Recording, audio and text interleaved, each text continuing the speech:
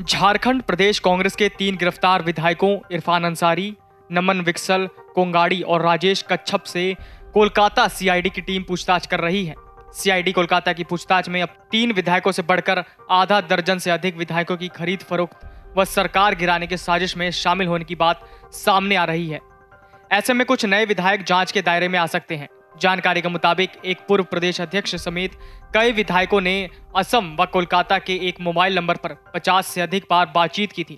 जाँच के दायरे में सरकार के कांग्रेस कोटे के मंत्री के भी हैं।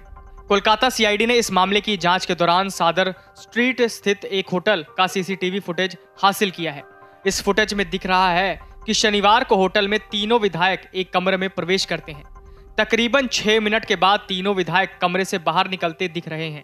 बाद में तीनों विधायक होटल के बार में प्रवेश करते हैं। इसके बाद एक विधायक सेंट्रल कोलकाता के लिए स्कूटी से निकलते दिखे। कांग्रेस के तीनों विधायकों की गिरफ्तारी के बाद यह बात सामने आई कि झारखंड कांग्रेस के विधायकों की सरकार गिराने की साजिश में शामिल होने व उनकी गतिविधियों से जुड़ी पूरी इनपुट झारखंड से ही बंगाल पुलिस के इंटेलिजेंस को दी गई थी। इसके बाद बंगाल पुलिस की इस संबंध में कार्रवाई की। हालाँकि रिमांड पर पूछताछ के दौरान बरामद उनचास लाख रुपए के स्रोत की जानकारी नहीं मिल पाई है। झारखंड विधानसभा के मानसून सत्र के बाद राज्य के मंत्रिमंडल में फेरबदल हो सकता है। इसमें कांग्रेस कोटे के दो या तीन मंत्री बदल सकते हैं। पिछले सप्ताह कांग्रेस के झारखंड प्रभारी अविनाश पांडे ने भी इसके संकेत दे दिए थे। उस समय पार्टी संगठन को तरजीह नहीं देने और राष्ट्रपति चुनाव में क्रॉस वोटिंग को आधार बताया जा रहा था। अब पार्टी के तीन विधायकों के भारी नकदी के साथ गिरफ्तारी और हो रहे खुलासे के बाद मंत्रियों पर गाज गिरनी तय मानी जा रही है।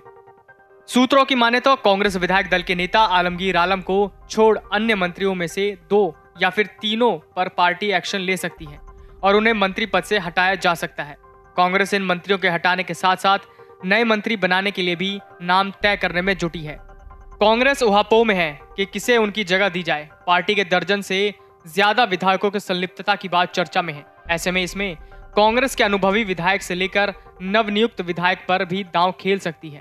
कांग्रेस की वैसी महिला विधायक जो पार्टी विरोधी गतिविधि में शामिल नहीं थी, उन्हें मंत्री बनने का मौका मिल सकता है।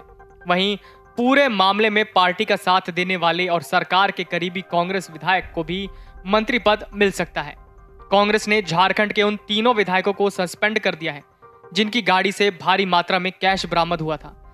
पश्चिम बंगाल पुलिस ने हावड़ा में इन विधायकों की एसयूवी गाड़ी से कैश बरामद किया था, जिसके बाद रुपए गिनने वाली मशीन मंगवाई गई थी। कांग्रेस ने यह कार्रवाई रांची के खिजरी से विधायक राजेश कच्छप, कोंगारी सिमडेगा के कोले बीरा से नमन विक्सेल, कोंगारी और जामताड़ा से इरफान अंसारी के खिलाफ की है। इन विधायकों की गाड़ी से हावड़ा में काफ़ी मात्रा में कैश बरामद किया गया था। Video desk Amar Ujala dot com. Download करें अमर उजाला ऐप। और पाए खबरें लगातार।